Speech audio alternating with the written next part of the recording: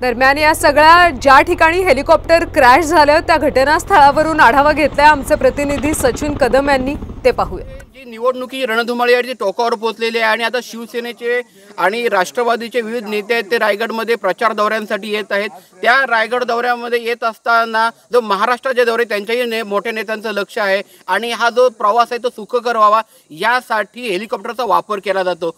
काल रायगडमध्ये कोकणामध्ये ज्या शिवसेनेच्या उपनेत्या सुषमा अंधारे यांचा दौरा होता आणि त्यांचं हेलिकॉप्टर क्रॅश झालेलं आहे. आता आपण ह्या घटनास्थळावर आहोत. हे जे घटनास्थळ आहे महाडमधलं बशीर चितकर यांचं क्रिकेटचं ग्राउंड आहे. हे काही रेग्युलर हेलिपॅड नाही आहे. मात्र या ठिकाणी तात्पुरती अशी हेलिपॅडची सुविधा उपलब्ध करण्यात आली होती. ही जी सुविधा उपलब्ध करत असताना शासनाच्या पूर्ण परवानग्या देखील घेण्यात आल्या होत्या.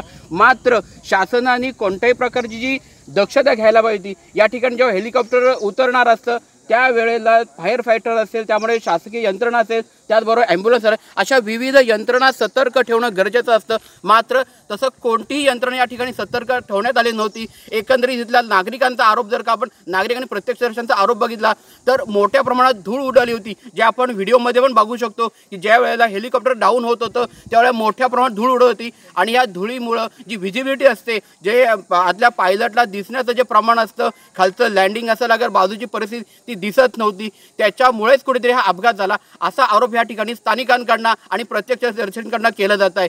जर का याची सखोल चौकशी केली गेली नाही तर हा कुठेतरी एक प्लॅन होता. अपघाताचा बनाव होता. असा आरोप इथल्या स्थानिक कार्यकर्त्यांकडून केला जात आहे. Sachin Kadam Saam T V Raigad.